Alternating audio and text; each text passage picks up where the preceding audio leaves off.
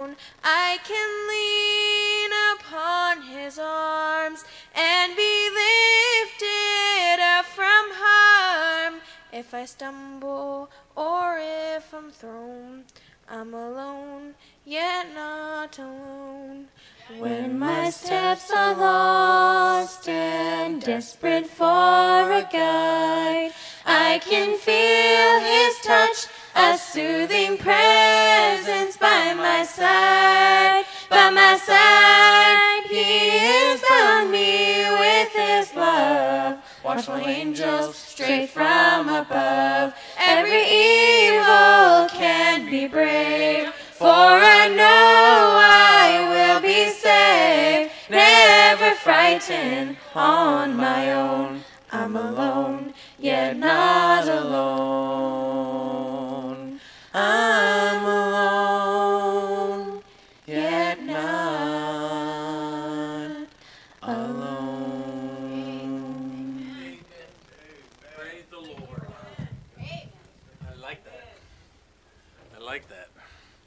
Think the Lord uses that. Amen. Praise the Lord. He moved on that. I don't know if you didn't know he was moving, then you better go find a new moving company. Amen. Praise the Lord. Amen. That's why I like them singing it, man. And if something started moving me, man, I'm going. I want to hear it again. It's the way it is. Have you ever listened to a song? You know, you have a tape or CD, and, or you know, iPod and stuff. And, and nowadays, I mean, who knows what a CD is anymore? But but you want to play with this one song that really moves you over and over. You play it again, you play it again, you play it again. You know, that's what I like. So uh, that's why I said, play, sing that song again. That's a great song. So, uh, you know, that song was sung by a Christian woman, and um, Hollywood made a mistake. They wanted to give her an award for it. And when they made the decision to do that, all of a sudden everybody come out of the woodwork blasting Hollywood for wanting to give an award. They backed out and didn't give her the award for it, the song.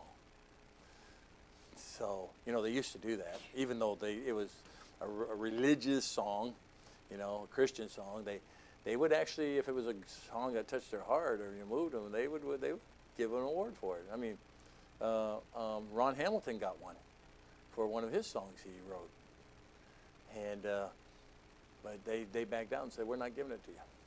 So that's because it's, it's a great song, and so it just reminds you, you know, we have to stand alone sometimes. And you're alone, but you're not alone. Lord's always there. So you may feel like you're alone. What's that?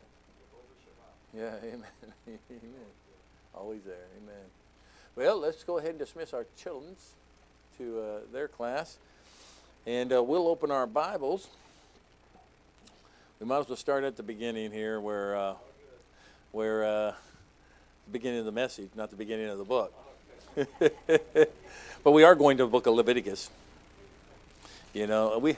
I remember when I first got saved. Uh, uh, we, my wife and I had two cats. We just got two new cats, and one of the cats we named Leviticus. and the other one was uh, Deuteronomy, right? Ecclesiastes. That's right, Ecclesiastes and Leviticus.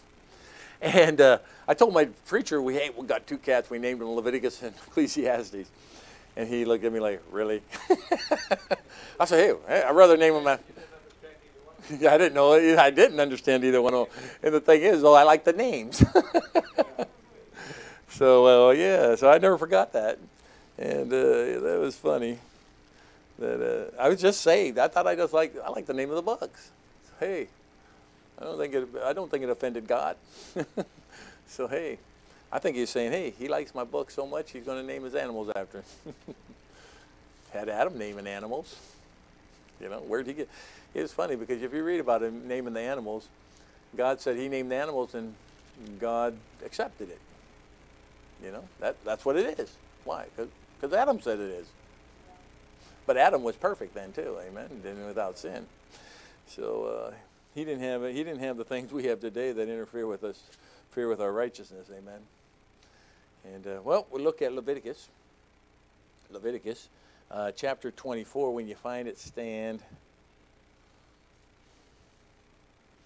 And we'll read two verses out of there.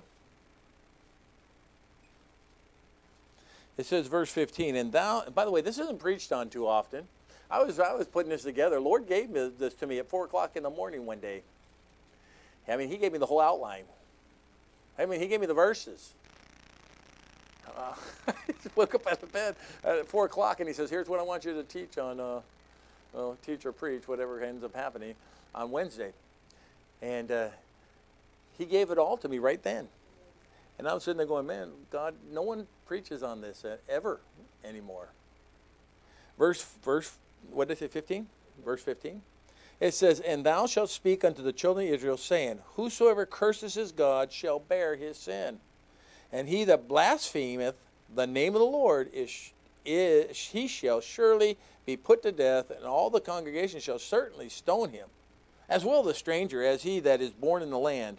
When he blasphemeth the name of the Lord, shall he put, shall be put to death. Now that was the law back in those days. They don't do it today. If they did, America would be destined for people. Amen? Because they blaspheme God all the time. And in fact, in the New Testament, God says you can blaspheme me, you can blaspheme my son, but you don't blaspheme the Holy Ghost. Uh, and I'll, t- I'll tell you what that all means in a minute. Our Heavenly Father, we ask you help us. Give us wisdom and knowledge and understanding through this, Lord. I pray that you help us, Lord. Maybe we'll get to have some conviction about how we talk about our God. In Jesus Christ's precious name, amen. You can be seated. I am, I'll tell you what I'm sick of social media. You say, why? Because they use OMG so often, and it, all it is is a, a blasphemy of, the, of God. That's all it is. And, and Christians don't get it. I'll even say to Christians, you know that I was, when I first got saved, you would have never said anything like that as a believer. In fact, if you were, the preacher corrected you. Huh? And I learned early about idionyms. Okay, you know what idionyms are? Something that's similar to, to the, for instance, uh, people, uh, people will use words for cuss words. Now they're not the cuss word itself, but it means the same thing. And they do the same thing with God's name. They'll use idionyms, and you, it means the same thing, but it's not. It's not said. Doesn't say God's name, but the the meaning is the same. So that's what God's talking about. God's not stupid, whether you're doing that or not. You know, He knows what, He's keeping account of what you're doing. He knows if you're blaspheming His name. Christians are blaspheming God's name even today. No wonder we don't fear God. No wonder churches are wrecked and ruined. Because God's not going to be in the midst of all that mess. Huh? To say the things. Oh, let me give you a, let me give you a definition of blasphemy an act of cursing or slandering or reviling or showing contempt or lack of reverence for God. What did you just say, Brother Mike? Okay, using God's name in a cursed manner. How about slandering his character? I'll give you an illustration. God's all love, he doesn't judge. That's slandering his character. Because he is a judge still. You're saying what God forgot about judging? God doesn't judge anymore? His character changed from the Old Testament to the New? He's still the same yesterday, today, and forever. He is going to judge. Why do you think he has a judgment seat of Christ in the great white throne judgment? He's going to judge his earth in the tribulation. He is still a judge. He is loving too. See what we do? We get out of balance. And what? And a false balance is an abomination unto God. And so we blaspheme. Christians are blaspheming God's name, blaspheming His character, blaspheming who He is. They paint pictures of what God is, and He isn't. Reviling Him or showing contempt, like rolling their eyes back. this message again. Huh? I have to listen to this again. He's taking too long. huh? Attacking God through the preacher and the preaching? And we blaspheme God and we looking at our watches? Hmm? All this stuff. I'm like, and God, God's laying all this on me. I'm like, He's like, nobody has any kind of reverence for God anymore, it seems like. Now, God didn't say that to me. I just feel that way anymore. It's just like even talking to preachers, and I, and I hate to put it this way, but preachers, they have little reverence for God anymore. They, they, they, look at it. That's one thing I like about the Jews.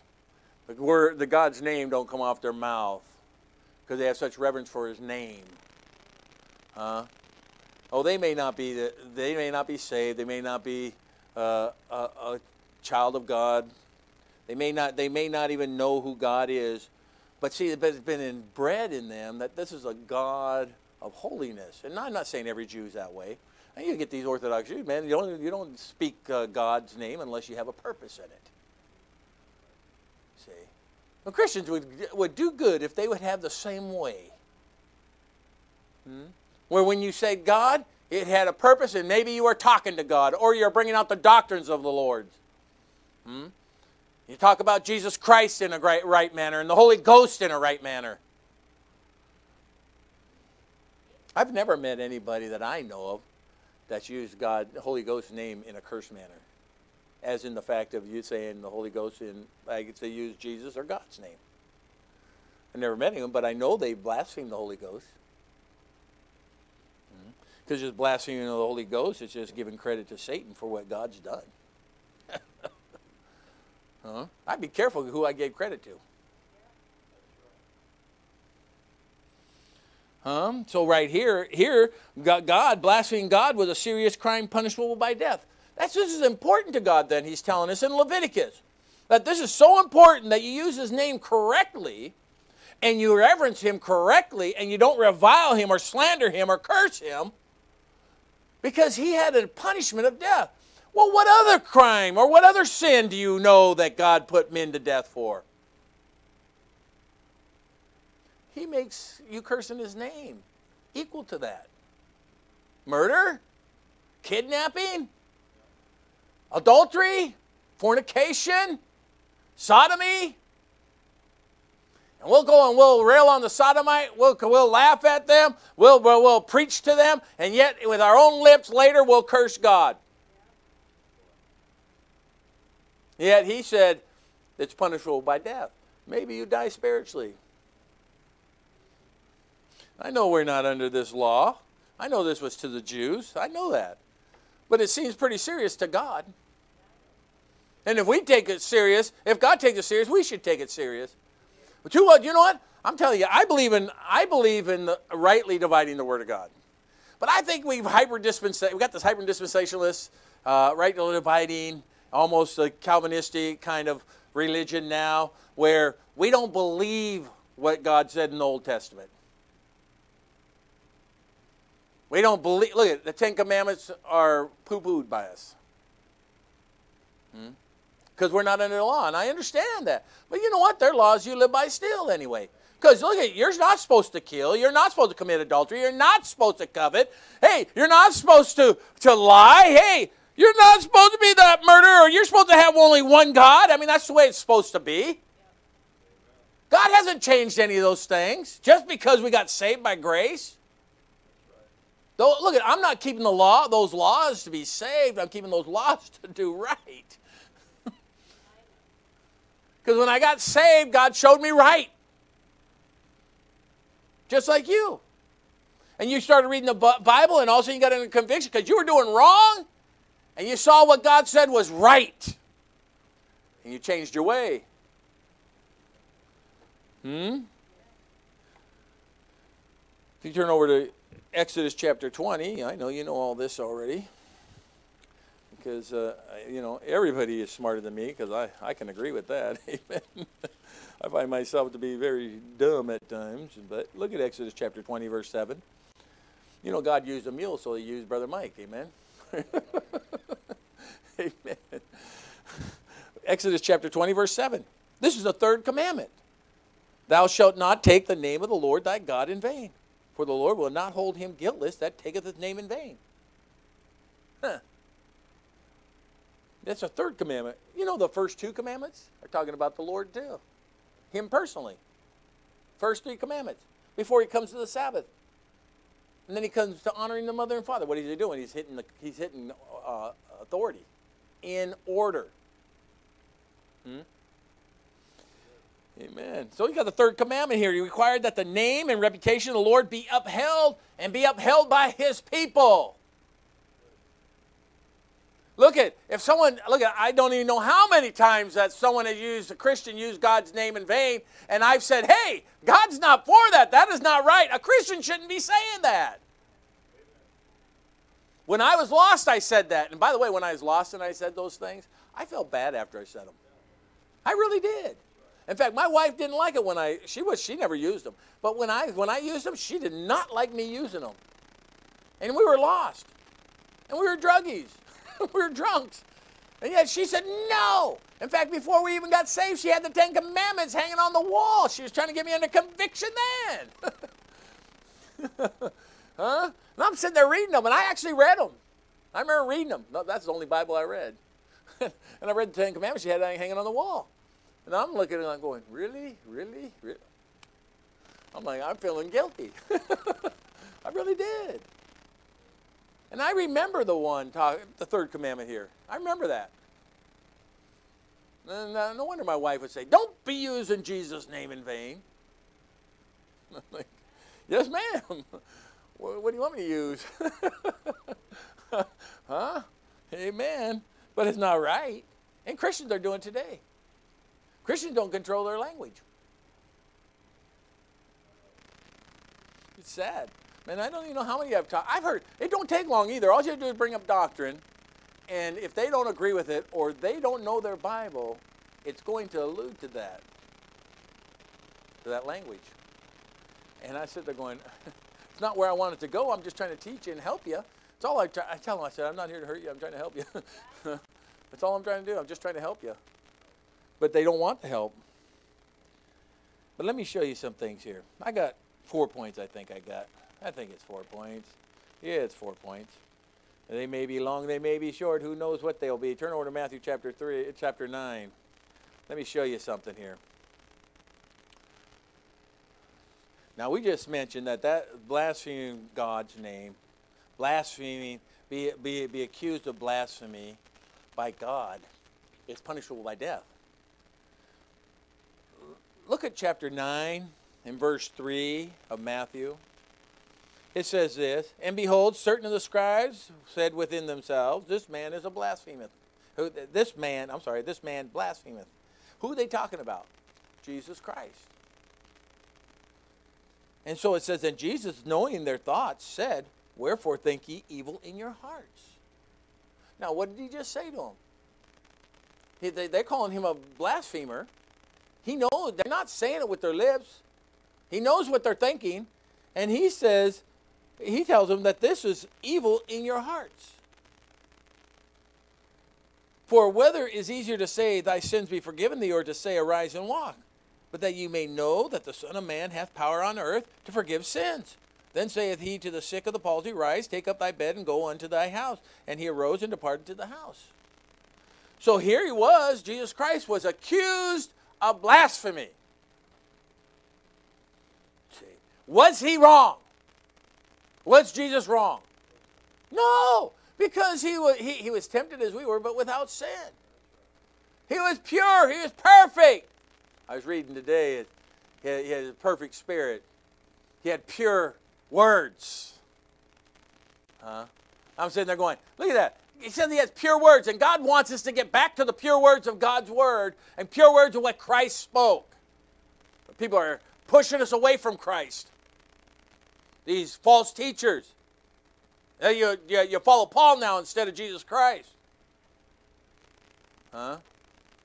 No, I follow Jesus Christ. And if Paul's following Christ, I follow Paul. Peter follows Christ, I follow him. Hey, if uh, Matthew, Mark, Luke, John, if they follow Jesus Christ, I follow them. But if they left him, then I follow Jesus Christ. Even if he's called a blasphemer, because he's not but these false religious men were calling Jesus a blasphemer. Look over Matthew chapter 26. Matthew chapter 26. Why are you bringing this up? Because I want you to see some things here. By the way, you could end up being called a blasphemer, but if you're they're, they're wrong in their assumptions and wrong in their evaluation of you, then you're in good company with Jesus Christ. Matthew chapter 20, 26, it says this. Let me see in verse 63. But Jesus held his peace, and the high priest answered and said unto him, I adjure thee by the living God that thou tell us whether thou be the Christ, the Son of God. Now they, they asked him a question. You tell us whether you're the Christ or not. Either say, yes, I'm the Christ, or no, I'm not the Christ. Okay, he didn't, they didn't give him a maybe. They gave him, a, they gave him two choices. You tell us whether you're the Christ or not. Now look at this. The Christ, the Son of God. And Jesus saith unto them, him, Thou hast said.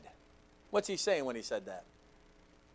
You said it, whether I am or not. Nevertheless, I say unto you, hereafter shall you see the Son of Man sitting on the right hand of the power, coming in the clouds of the heaven. Then the high priest rent his clothes, saying he had, look at trying to look spiritual. Rent his clothes, saying he has spoken blasphemy. See that? What further need have we of witness? Behold, now ye have heard his blasphemy, it says. Go on, what think ye? They answered and said, He is guilty of death. Why? Because that's what the law said. If you commit blasphemy, you're to die. Huh? Then did they spit in his face and buffeted him, and others smote him with the palms of their hands, saying, Prophesy unto us, thou Christ, who is he that smote thee? Mocking him.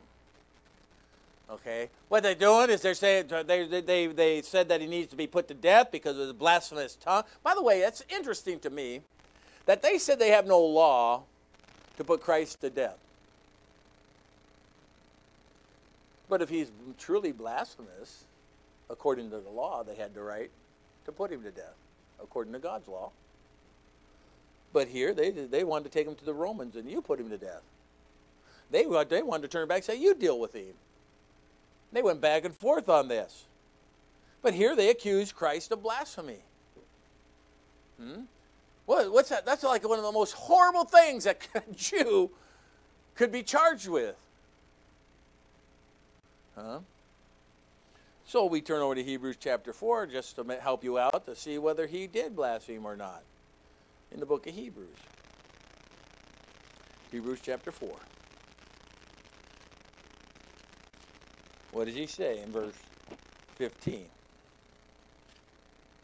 For we have not an high priest which cannot be touched with the feelings of our infirmities, but it was in all points tempted as we are, yet without sin. He's, he's perfect. He didn't blaspheme, but yet they said he was a blasphemer. You say, what? Because he was perfect. He didn't do wrong because he is God in the flesh. 100% man, 100% God. He was the Lamb of God. He's a propitiation for our sins. He's our, he's our advocate. He's our go between. He's our bridge between man and God. Look at Hebrews chapter 9 and verse 28. So Christ was once offered to bear the sins of many. Now I want you to remember this. And unto them that look for him shall he appear the second time without sin and sal- unto salvation. You see that word, without sin? He wasn't a blasphemer. If he did, why did they say that he's without sin? And why did they say he'll be without sin when he and, and unto salvation? Why did they say that? Because he was sinless. He didn't blaspheme his God. He didn't blaspheme his Father. Can you imagine God blaspheming himself? hmm? By the way, let me ask you a question. You ever blaspheme yourself? No, you usually don't say bad things about yourself. In fact, you might lift yourself up a little farther than you should. Hmm? You know, he didn't. He didn't blaspheme himself. He didn't blaspheme his Father in heaven. He didn't. He, he didn't break the law. He didn't break the law. Hmm? Now look at this.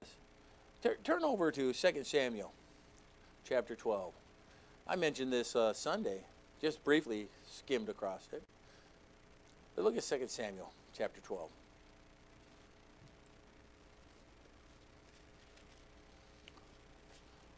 in verse 14. Remember, Now, this, let me lay this out. Nathan came to Jesus or David and uh, confronted him about his sin of killing Uriah and, and committing adultery with Bathsheba get, getting her pregnant. She has a little baby in her in her in her womb. She has a little boy. Uh, Nathan comes to confront him because God told him to, gave him what to say. Found out that David was guilty. David had uh, pronounced judgment upon himself before Nathan said, "You are the man." He said, That man shall die and pay back fourfold. And he goes, You're the man, David. And David realized his sin. He confessed that he sinned against God. Uh, verse 14 says, Howbeit, because by this deed thou hast given great occasion to the enemies of the Lord to what? Blaspheme. You gave them a, you gave him a reason to destroy the character of God, to curse him. You know, I started thinking about this. Remember when Moses was with God and God wanted to kill all the people of Israel and start over with Moses? What did Moses say? Oh, don't do that because the, the people will think that you brought them out into the wilderness to slay them. You know what God, you know what Moses was pleading with God to do? Don't blaspheme your name. Don't don't revile yourself. Don't curse yourself. God, you know how people are going to think? You're going to give them occasion to blaspheme you. I never thought about that till I was studying this, and all of a sudden, God says, "Look at that. That's why I gave Moses the right of way." Hmm? He made he made perfect sense. Hmm? But here, David gave reason for the enemies to blaspheme God. The child also that is born unto thee shall surely die. Huh? That's the product of his sin, that little child. Was, was it really a punishment to the little child? Not really, because that child went to be with the Lord. And David even mentions that. The child shall not come back to me, but I shall go to the Lord, or go to him. Basically, he'll be, he'll be with him in heaven. He'll be with him in the Lord. Huh? But because of sin, he brought on blasphemy to, the, to, to God. Let me ask you a question. When, is, when does your sin bring blasphemy to God? The things you do. And then you go and profess you're a Christian. And people, you're look, what you're doing is exactly the same thing my sister done or my brother done or my dad did, or my mom did. And they, they were the wickedest person I ever met. My friend, the wickedest person I ever met. You're doing the same thing, and you profess to be a Christian? What kind of God do you have? What did they just do? They brought blasphemy to God. They destroyed his Look, what kind of God you got if he's not strong enough to keep you out of sin? You understand? We, we are we're doing things to God I don't think we project in our own minds and hearts. We understand in our own minds and heart that what we're doing to God. What we're, what we're putting out there in this old world, they laugh at us. They laugh at the church and the preachers, the, ch- the Christians. Pre- preachers used to be revered. Preachers used to be feared. I remember when I was a kid, I remember preachers coming over our house. And man, I, I, am seriously, as a kid, I didn't know anything about Christianity. I didn't know anything about the church. I didn't know nothing about the preachers. You know what? But when that preacher came into our house, I had like a reverence for him. A lost kid. I treat him with holy respect. Hmm? I have a friend who says that when he was a kid, he said you could go past his church and go into his church any time of night and the doors would be unlocked. You go in there, you can read the Bible, you can sit in there and pray, you can kneel at the altar and pray. He said, open 24 hours a day. He said, then they found a guy defecating on the Bible that was at the, at the, at the altar up here, and he said they had to start locking the doors. Because why? Because everybody lost the respect to the church and reverence to the church and God and the man of God and the people of God. Something's changed. Maybe we're giving them that taste in their mouth and the flavor of disrespect as believers in Jesus Christ because we give them a reason to blaspheme with preachers who commit adultery and fornicate from the pulpit in their offices. And all we do is bring blasphemy to God in His name. I can't name on two hands the preachers I know that did all those things and it hurts me. I can't imagine how God feels.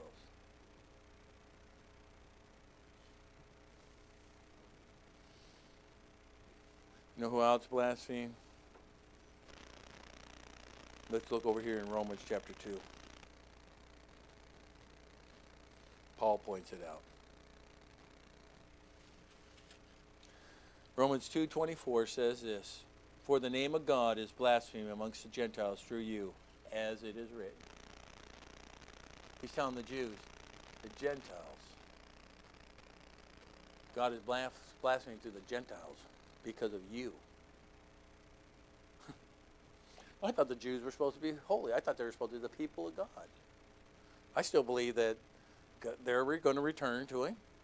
I believe that God is working in the midst of Israel. I think it's all going to come to pass because God says so.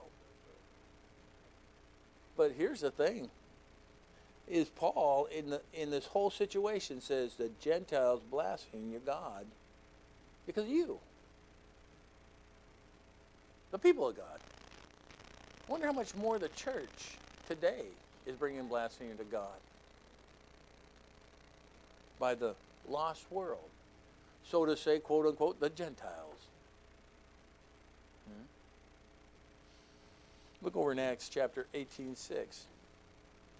I'm going to tell you, Paul, Paul feel I feel like Paul at this point right here. I'm not joking. I mean, when I read this, I said, man, that's exactly how I feel a lot of times. Look at Acts 18:6. And when they opposed themselves and blasphemed, he shook his raiment and said unto them, Your blood be upon your own heads. I am clean. From henceforth I will go unto the Gentiles. Huh? They wouldn't listen. They blasphemed. They blasphemed, it says. Not only were they bringing blasphemy to God because of the way they were living and the things they were doing, but they were blaspheming themselves. And Paul just shook all his clothes. Hey, man, it's time to go, man. Get out of here. I'm going to the Gentiles. Huh? So I'm out of here. Sometimes that's how I feel. Want to just take my coat off, shake all the stuff off it. Hopefully, I don't take anything with me. I'll go to somebody else. Huh? I'm tired of hearing it.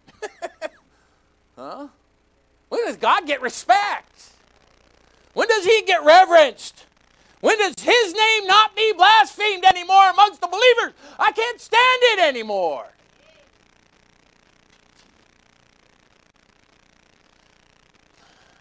I'm telling you, I, I feel feel with Paul right there. Huh? You know what? And it wasn't a lack of love Paul had for the Jews. He loved the Jews. He loved them. He was willing to give up his own salvation for them. Uh, he was like, you know what? I'd give up what I got for them to come to Christ. They get saved.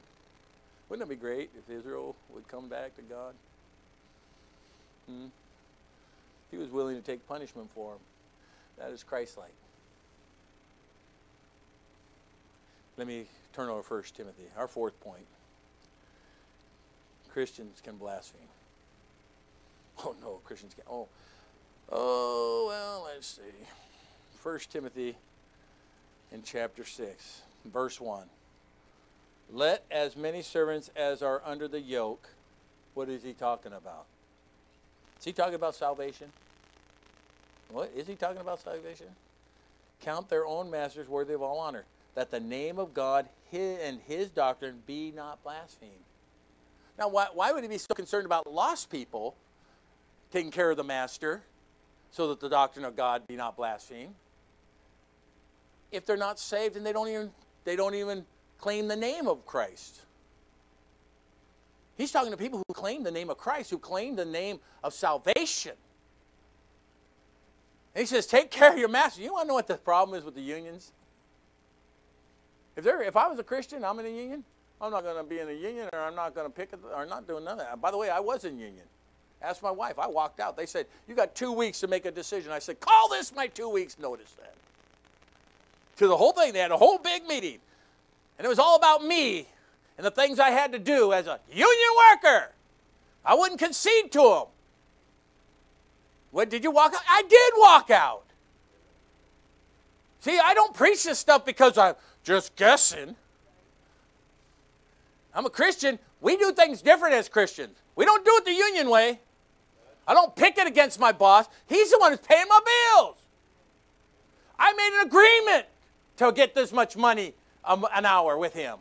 If he wants to give me a raise, praise the Lord. If he doesn't give me a raise, praise the Lord. I'm still going to work for him. I need the money. I got to pay my bills. I'm not going to sit on a picket line like Boeing does around Christmas time when these guys are making, uh, you know, $2,000 a week, and yet then at Christmas time they picket for four weeks and they get $100 a week by the union. Wow! That's not even a drop in the bucket for what they need. How can they justify that? That's because they're the world. Well, guess what? I'm not going to give them reason to blaspheme God and his doctrine. Huh? No. That, look at when I passed up in Washington, everybody was union, weren't they, in our church? I used to preach this stuff, man. They looked at me like, what? Oh, man. They, they just laugh.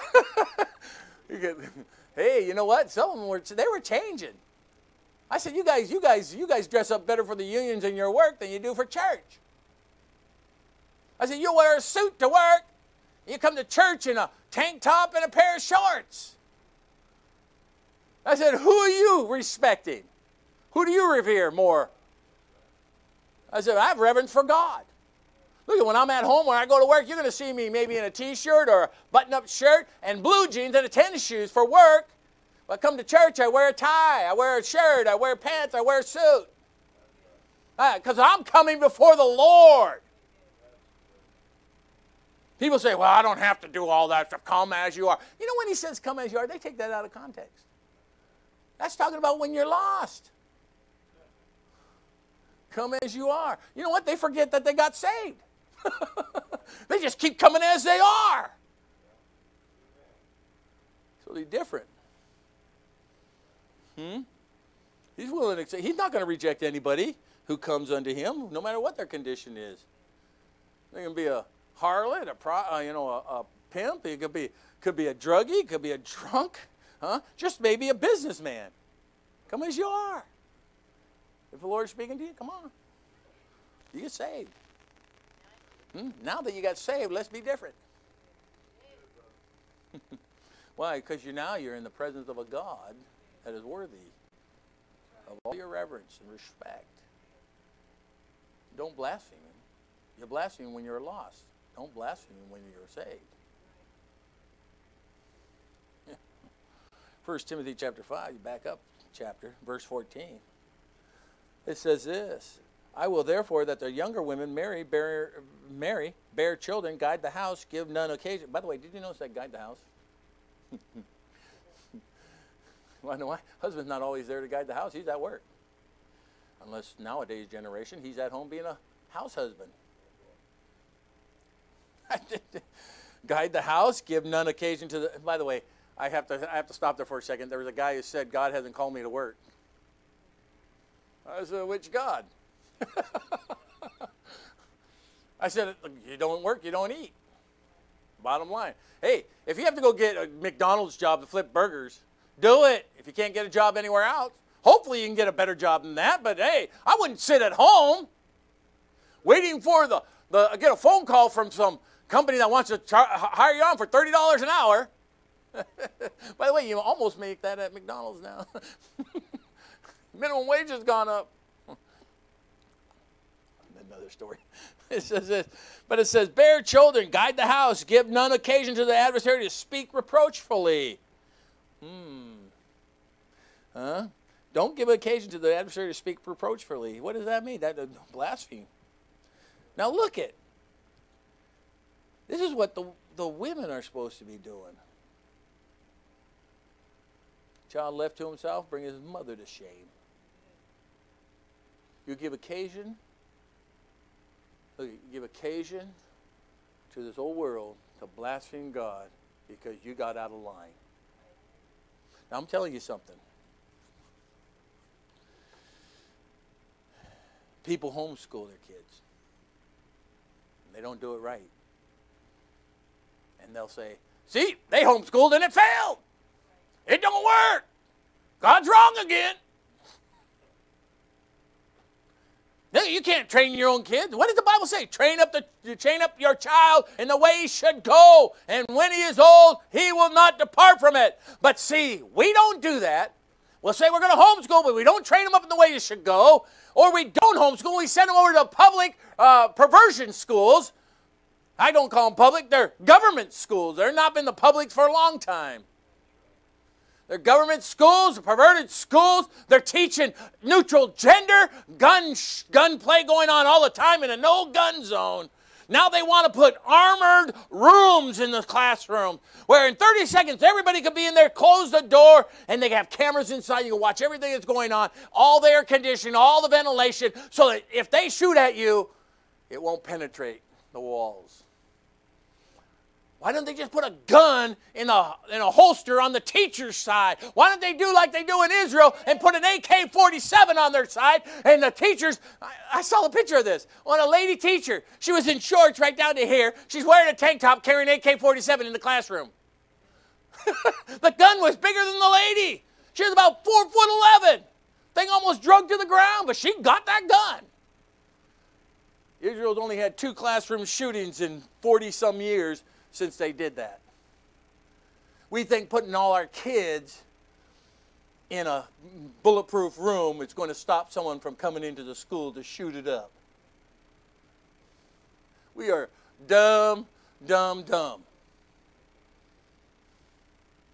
No, you're a good guy with a gun is going to stop a bad guy with a gun. Bottom line, that's all there is to it. But what are you saying? I look at it. I said all that, because I'm not putting my kid in that school. And I'm not going to have my wife put the kids in the school there. No way. We train them up. We don't give them occasion to blaspheme God either through it. That means you're going to have to be diligent. You're going to actually have to put some effort into it. Some of us have very little effort sometimes. Titus chapter 2. Do Christians blaspheme? They have, they have been known to blaspheme God or give occasion to blaspheme God. Titus chapter 2, verse 5. To be discreet, well, let's back up a little bit. Um, the aged woman verse 3, likewise, that they be in behavior as becometh holiness. Look at that. Not false accusers. Whoa. False accuser? Well, I'm looking for a, an aged woman where I can find one that's not a false accuser of somebody. Did you, did you just hear me? Some of the busiest buddies are the aged women. What are they teaching the younger women? Behavior as becometh holiness, not false accusers, not giving to much wine, teachers of good things. Not when you know that's by the way, that's one of the things Christians are saying. Oh, we can drink wine. Jesus drank wine. I look at it. I do it in. I don't do it in excess. I can blah blah blah whatever. They forget the Bible when it says uh, wine's a mocker, strong drink is raging. Who serves deceit thereby is not wise. So you're a fool if you're going to drink. That's the bottom line. You say, why you say that? Because I was a drunkard and that's what God taught me. Hey, fool, get away from that. Hmm? That, that, by the way, you notice I use the word drunkard? Not an alcoholic.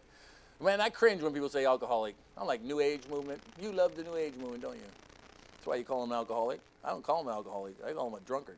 That they may teach the young women to be sober. Whoa, to love their husband. By the way, Charlie Andrews said this. You want to know why God said that? Because young women don't know how to love their husbands. They have to be taught to love their husbands.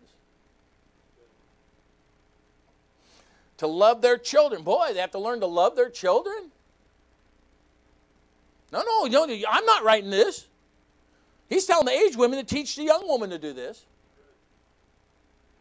To be discreet, chaste, keepers at home. Boy, that's a novel idea in today's society. Good and obedient to their own husband. There's another novel thing.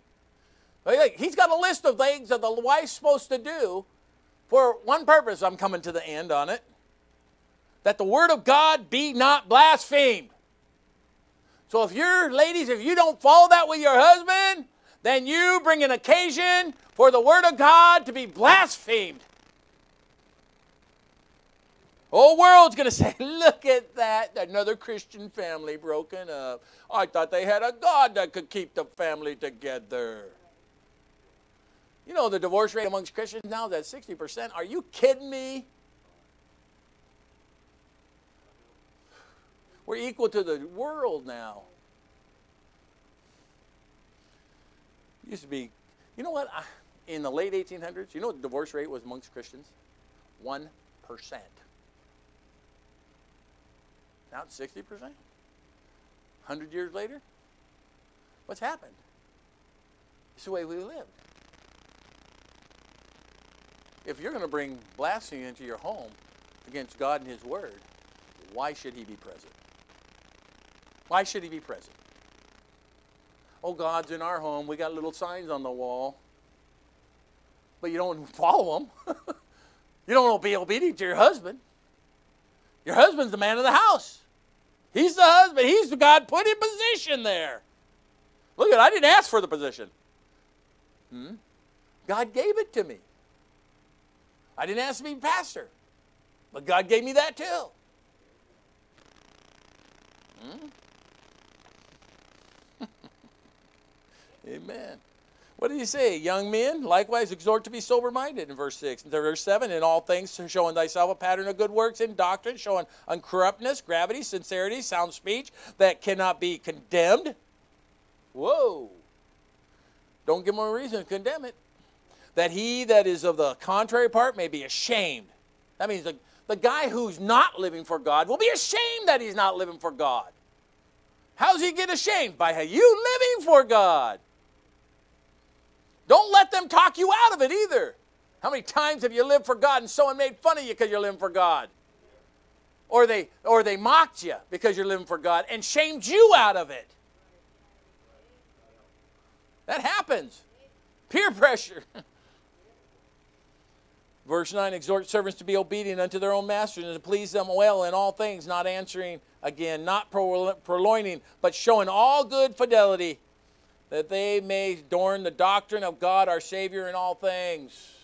See, your whole life is all about God and His Word, and not bringing blasphemy, blasphemy to His Word, but bringing an adornment. I mean, where it looks beautiful in the eyes of men, where they desire to know what the Word of God has. They desire that, that Savior. They desire to know God. Look at our lives aren't supposed to be where we drive people away, but we're drawing people to God. Amen. Amen. So, what did Jesus do? Shame and reproach came to him. Huh? He took all this to the cross. Bible says that despising the shame in Hebrews chapter 12, verse 2. He took shame to the cross. You say, why are you bringing all this up? You know, when people say that in Hebrews 6, it says they, uh, they, they basically, they're trying, I'm going to paraphrase, they, they want say they have to get saved again, and they put Jesus Christ to another open shame. Well, he's already been shamed at the cross. He's taken it to the cross. It's been, been put under the blood. And they think they can go back and do it again and again and again and again. No. So it's once and for all. What is shame? It's a painful sensation excited by consciousness of guilt. Did you hear me? A painful sensation excited by a consciousness of guilt or having done something which injures reputation or by the that which nature or modesty prompts us to conceal. So basically, you you can destroy the reputation of God and call it we call it blasphemy. Huh? And you should be shamed because of it. People say, well, don't make them feel guilty. Why not, if that's the way they're living? They should feel guilty, especially if they're saved. if you're saved, don't live that way. That's wrong. That's against Scripture. I had one guy, I tried to tell him, I tried to tell him, man, you're not right. This isn't right how you're living. Well, I haven't left God. Yeah, you have. you left God a long time ago.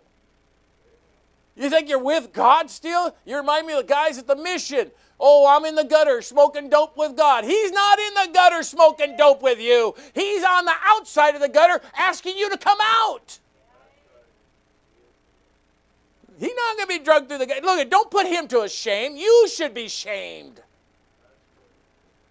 What's a reproach? To upbraid, to suggest blame for anything. A man's conscience will reproach him for a criminal, mean, or unworthy action. Your conscience will bother you. You've been reproached. Well, you committed a crime spiritually, maybe even physically. What? God's taken that shame and reproach to the cross. I'm going to say, I'm going to re- read you something that the Lord gave me to write. We need to learn. By the way, He not only had me write this, but He actually allowed me to feel what He felt. That's why I wrote it. We need to, by the way, that's when He woke me up at 4 o'clock in the morning. I couldn't sleep. I told my wife I couldn't sleep. No, He, he made me feel the shame and reproach. Deep in my heart. So bad I didn't want to eat. I know why he didn't want to eat. Didn't want nothing to drink. Huh? He didn't want anything to do. All he wanted to do was talk to God. Hmm? It was such a grievous thing. Shame and reproaches. I kind of wonder how many of us actually feel that when we sin against God. We need to learn how to feel the shame and reproach in our heart and conscience when we sin against God. Pride sneaks in and robs us of humility. You know what happens as I he was allowing me to feel that shame and reproach? All of a sudden, I'm not joking, just a just a little inkling came in of, well, this don't pertain to me. you know what happened? All of a sudden, I'm not joking. As soon as I said that, that shame and reproach disappeared. That means that means conviction was gone. That means opportunity to repent was gone. You know what entered in? Pride. That don't pertain to me. Oh, really? That's what God said. Really? Have you sinned against me before? Have you sinned against me this week? Haven't you caused some kind of issue? Something maybe you don't remember? Should you not feel shame and reproach? I know it's taken to the cross. I know He died for all our sins. They've all been taken to the cross. But when we commit sin as a believer, when we, when we bring the reputation of God down to man's level, we should feel shame and reproach. That that's me that did that. Fall on our faces. When do we cry for our own sin? David committed sin against God. You read in Psalms 51. And here you, you feel his broken heart and the shame and reproach that he penned in Psalms 51. And you see how grieved he was.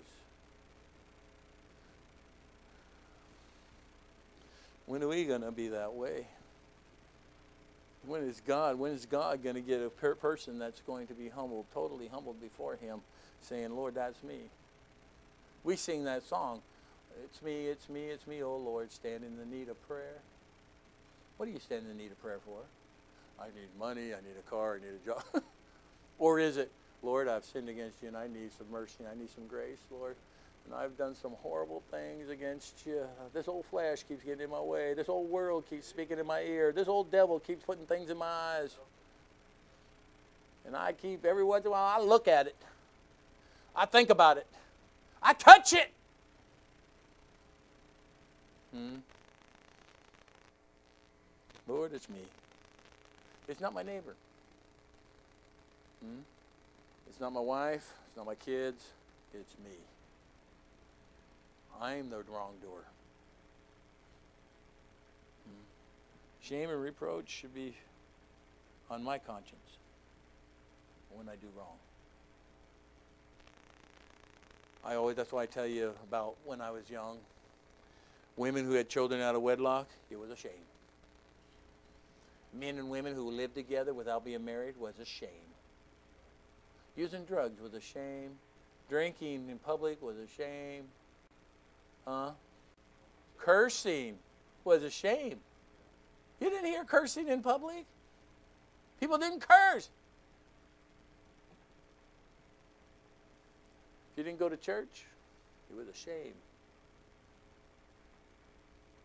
Now the shame that men should be bearing on their heart and soul for their wrongdoing to a God that they blaspheme now isn't there. I'll go to church when I feel like. I don't have to go to church every Sunday. I'll just be a Sunday morning church goer. Hmm. I don't have to tell anybody about Jesus. Really. I don't have to hand out tracts. Hmm? You say you're saved and you got the light of God in you and you're excited and you're full of joy, but yet you don't spread it to anybody. I remember when I got that, and I'll finish with this illustration. I got that uh, Thunderbird for my wife. It had the turbo engine in it, a turbo, in the, and uh, it was a nice car.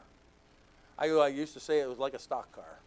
That's what it was. It sat low to the ground, and uh, it was fast, and it was a beautiful car.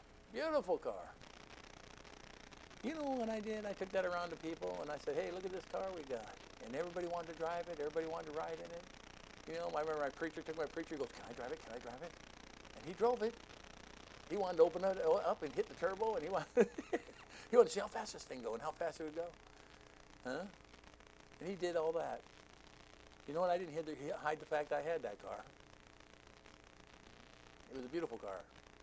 My wife didn't hide the fact that her husband got this for her birthday. She told many people, look what my husband got for my birthday. Huh? But how can we do that with Christ? And we say we have joy and love and peace in our hearts. And we don't want to spread it to anybody. We don't want to reveal it to anybody. We don't want to show it to anybody. Maybe it's because we blaspheme God so much in the presence of others that we don't want to offend ourselves because of what we've done. And what are people going to think about us now if we start talking about God? hmm? It's too bad. I was in home, I was in Walmart. I said I was going to end with that illustration, but I was in Walmart. Was it yesterday? That lady that tried to take all my groceries and take them back. I bought all these groceries, had a cartload of stuff. I'm paying for it. I'm handing the money to the cashier. This lady comes up. She's like a front end cashier, head of the cashiers or something. She comes up and takes my cart and starts taking it back to the back of the. I called her. Hey, wait, wait, wait, where are you going with my stuff? She goes, Oh, did you buy this? I thought it was stuff that had to go back on the shelves. you go back here. So we we broke out a conversation. Now, now she knows me, my wife, all our kids. I mean, my wife goes in, she says, "Where's your husband?" And I go in there, she says, "Where's your wife? Where's your kid? Blah blah blah. So I talk to her. You know what?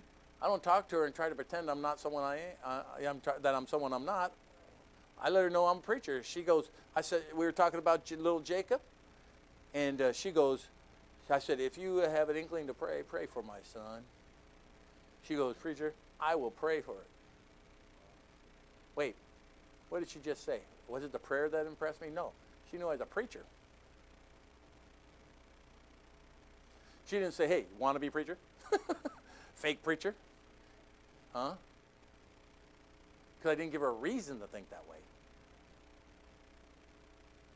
See? I don't know how you're living. Our Heavenly Father, help us understand what we heard. God, I pray you get glory out of all this. Exalt your Son, Lord, because he's worthy. Lord, help us to be conscious of how we treat you in the presence of our enemies, in the, in the face of this old world. And I know Satan's going to do all he can to bring blasphemy to you, but let, us, let him not use us as a tool for that. God, teach us. Convict us in our heart. Let us really feel the shame and reproach that you, your son felt at the cross. I can't imagine all the sin put upon his shoulder and all the shame that he felt.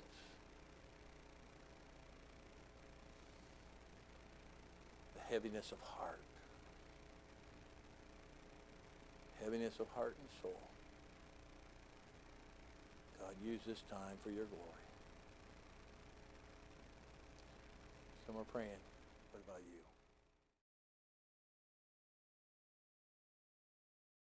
The Bible tells us, These things have I written unto you that believe on the name of the Son of God, that you may know that you have eternal life, and that you may believe on the name of the Son of God. For three things we notice here, that was written to us, that we can know and that we can believe, all before we leave this earth we can know consciously in our hearts and in our minds that we are saved before we leave this earth. God has made a promise to us. He tells us there's none righteous, no not one in Romans 3:10.